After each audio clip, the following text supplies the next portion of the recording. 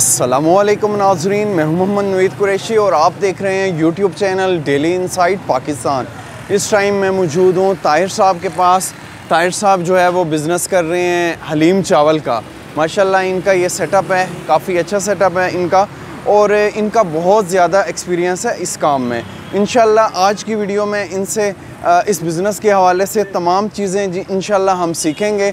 इन्होंने कब कारोबार स्टार्ट किया, कितने पैसों से स्टार्ट किया इस कारोबार को करने के लिए मिनिमम कितनी इन्वेस्टमेंट रिक्वायर होती है और इस कारोबार को आप किस तरह से कामयाब कर सकते हैं सब चीज़ें इन आज इनके तजर्बे से हम सीखेंगे। भाई अस्सलाम ताहिर भाई आप कैसे हैं? अल्लाह का शुक्र है सर ताहिर भाई सबसे पहले तो बहुत बहुत शुक्रिया। आपने अपने कीमती वक्त से टाइम दिया चूँकि गाहक वगैरह भी आ रहे थे।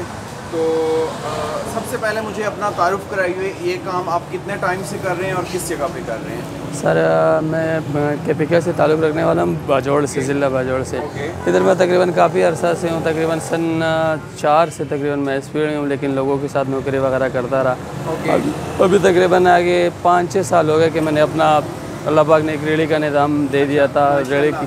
फिर आहिस्ता आहिस्ता चलता रहा फिर अल्लाह पाक ने दुकान कर दिया। अच्छा अच्छा। सर ये आपका सेटअप इस टाइम किस जगह पे मौजूद है? सर ये कानापुर ट्राली अड्डा रावलपिंडी।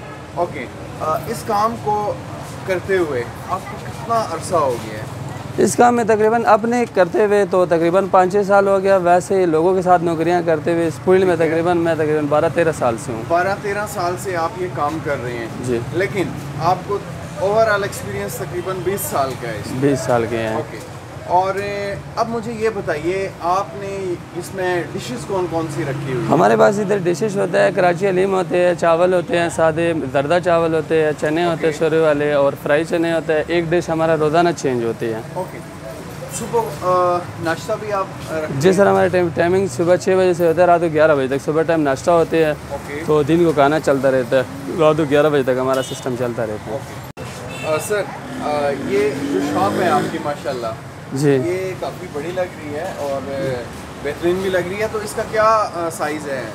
साइज़ इसका 25 फुट लंबाई है और आठ फुट जो ये चौड़ाई अच्छा, है। यानी आठ बाई पच्चीस की माशाल्लाह बेहतरीन मतलब इसका है साइज़ और अच्छा सबसे पहले इस पे आ जाते हैं हम।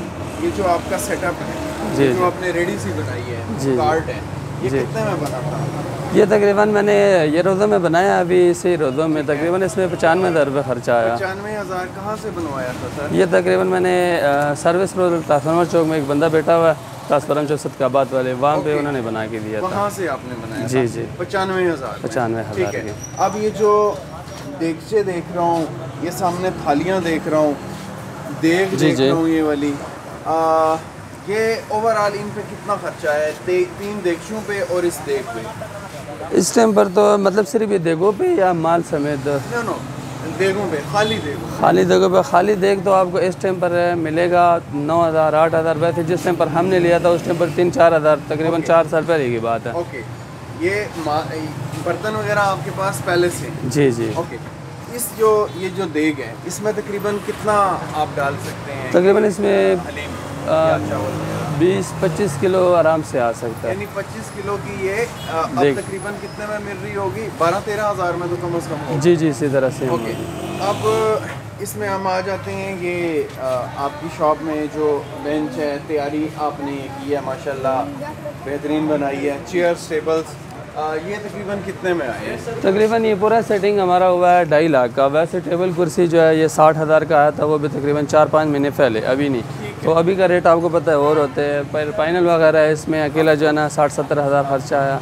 यानी ओवरऑल हम कह सकते हैं ढाई लाख ढाई लाख का जी जी। तकरीबन एक लाख आपका इस कार्ड पे खर्चा जी जी। यानी साढ़े तीन लाख। साढ़े तीन ठीक है? और बाकी ये देखे वगैरह मिला के चार लाख में ये काम आपने स्टार्ट स्टार्ट किया। सिक्योरिटी बाकी मामला उसको हम साइड पे रखते हैं क्योंकि वो हर जगह पे जी डिफरेंट जी डिफरेंट होती है। ठीक है। जो आप माल तैयार करते हैं हलीम हो गया चने हो गया चावल हो गया सर सुबह कितने बजे स्टार्ट करते हैं? ये हमारा आधा काम रात को होता है आधा काम हम सुबह करते हैं। वैसे हम तकरीबन पाँच छः बजे से रात को काम शुरू करते हैं दो तीन घंटे काम हम रात को करते हैं बाकी जो है वो सुबह करते हैं क्योंकि जो पानी में डालना वगैरह होता है उबालना वो जैसे हम रात को करते हैं बाकी मसाले वगैरह तड़के वो सुबह लगा लेते हैं। दो तीन घंटे कम से कम हमारा सुबह काम होता है। और तीन घंटे हमारा रात को काम होता है। यानी टोटल छः घंटे में ये सारा माल सिस्टम तैयार हो जाते हैं। ओके अच्छा शॉप का टाइम वो कितने बजे से शाम या रात कितने बजे तक? शाम तकरीबन सुबह छः बजे से शॉप ऑन होती है रात को ग्यारह बजे तक खुला रहता है। वैसे बीच में अचानक जल्दी माल ख़त्म हो जाता है घंटा आधा घंटा। अच्छा तो नहीं तो टाइमिंग ग्यारह बजे तक ही है। ये चने कितने आप तैयार करते हैं? डेली तो चने तो हमारे रोज़ के हिसाब से बनते हैं मतलब कभी ज़्यादा होता है कभी कम होता है लेकिन जुमे के हिसाब से आज हमारे तकरीबन चार किलो का चने बना हुआ। है। हाँ और ये जो हलीम बनती है इसमें चिकन वगैरह डालते जी ये चिकन ब्राउन प्याज वगैरह इस चीज़ों से जो है हलीम बनते हैं अच्छी बनता है। ठीक हो गया। तो तकरीबन इसमें 10 किलो बनाते हैं आप 8 किलो? नहीं इसमें हम ज़्यादा बनाते हैं कम से कम भी बीस बाईस किलो होती है। 20 22 किलो ठीक है। और चावल तकरीबन? चावल तकरीबन आठ भी लगता है दस भी लगता है मतलब रोज़ के हिसाब से लगता है दिन के हिसाब शॉर्ट सी रेसिपी अगर बता सकेंगे क्या तरीका कार है इसका? हलीम की? हलीम तो शार्ट ये है कि मतलब कोई दालें होते हैं अब हर बंदे के अपने डिपेंड होता है कोई ज़्यादा दालें डालता है कोई कम डालता है कोई गंदम डालता है कोई क्या लेकिन हमारा बस हर अपना बंदे की अपनी अपने अपने रेसिपी होती है हाँ, ठीक है।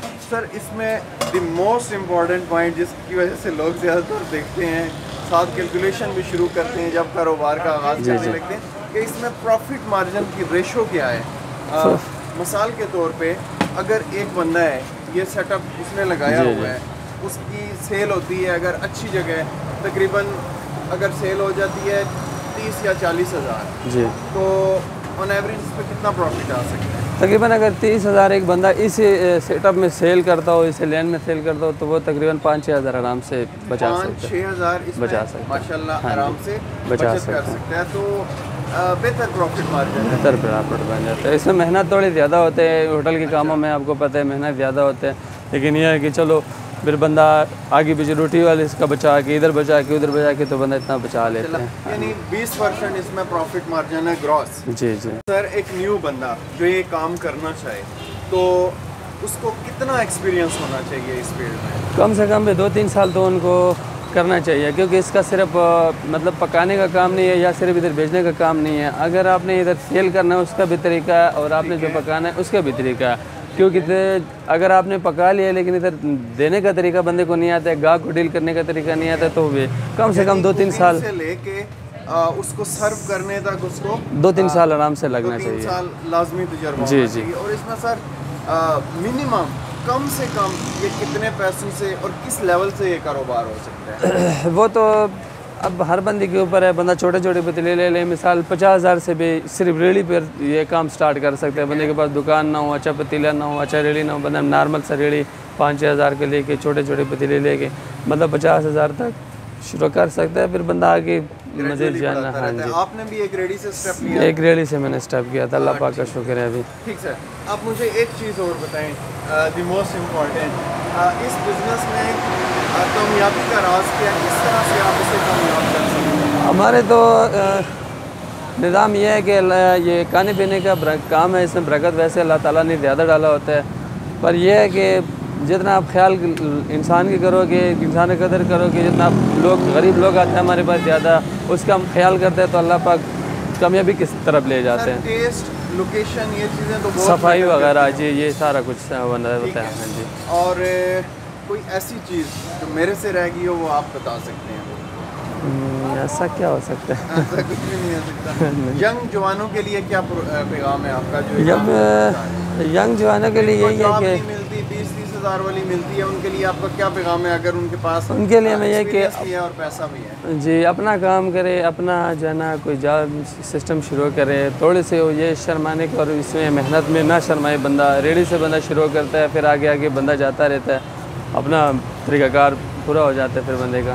ठीक है सर बहुत शुक्रिया। धन्यवाद। अच्छा नाजरीन आपने ये तमाम इस कारोबार के हवाले से वीडियो देखी है। अ, दो तीन चीज़ें। एक तो आइडियल लोकेशन होनी चाहिए आपके पास एक्सपीरियंस होना चाहिए और तीसरी चीज़ लगन होनी चाहिए अपने काम के साथ। तो आप इस काम को मुस्तकिल मिजाजी से चाहे आप छोटे लेवल से स्टार्ट करें तो आप ग्रेजुअली इसको जो है वो बढ़ा सकते हैं। अ, ये वीडियो आपको कैसी लगी है कमेंट सेक्शन में लाजमी बताइएगा। अब तक के लिए इतना ही। मुझे और ताहिर साहब को इजाज़त दीजिए। अल्लाह हाफिज़ पाकिस्तान जिंदाबाद।